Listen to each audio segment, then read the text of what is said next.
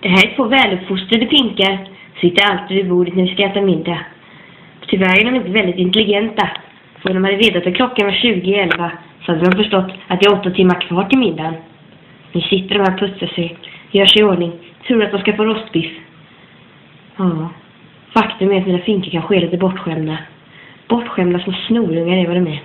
De bara tittar på dem. Och nu börjar de gapa. Nu hörde de att jag kallade dem snorungar. Det är inte lätt. Ha en trevlig dag mina Finke, Ni kan ju sitta där åtta timmar till. Vi återkommer.